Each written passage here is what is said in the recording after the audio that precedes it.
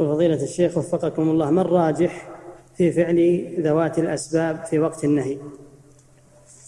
كما سمعتم الخلاف فيها قوي فمن رجح الأمر قال تفعل عند أسبابها ومن رجح النهي قال لا تفعل. فالمسألة فيها خلاف قوي فلا ينكر على من أداها ولا ينكر على من تركها كل تمسك بدليل. نعم.